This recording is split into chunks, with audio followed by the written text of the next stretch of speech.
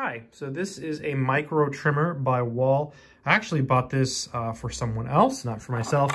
And this uses one AAA battery. Uh, it's in here. Let me see if I can take this off and show you.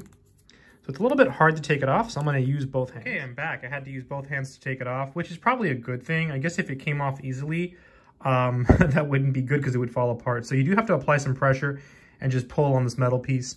And there you see that's where the AAA battery goes in. All right, I'm going to go ahead and put the cover uh, back on. Okay, when you put the cover back on, you want to make sure that this piece lines up with this piece here, okay? Because you see how there's a, a, black thing there? That's where you turn it on and off. I'm to turn it on. See? Pretty powerful, right? And I think this setting here, this one is like for ear and nose. And you see here, there's different, there's different ones you can use. Um, the person I bought this for just wanted a nose trimmer.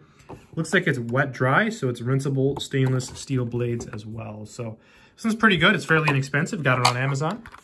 Let me open this up here. So you have some attachments here. I'm not really sure what this one is for here, this one here. Oh, this is a cover. Okay, I see.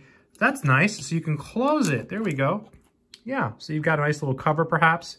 Uh, kind of an interesting cover. Doesn't really lock in very well. Let me just try to do that a little bit better. Okay, so the cover does go on actually, and it does lock on, so you can pull it off and put it on.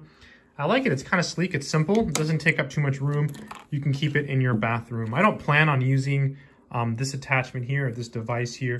I mainly, uh, again, it's for someone else and they're going to use it uh, for nose. But apparently you can use it for your eyebrows and your neckline as well. So that's kind of nice.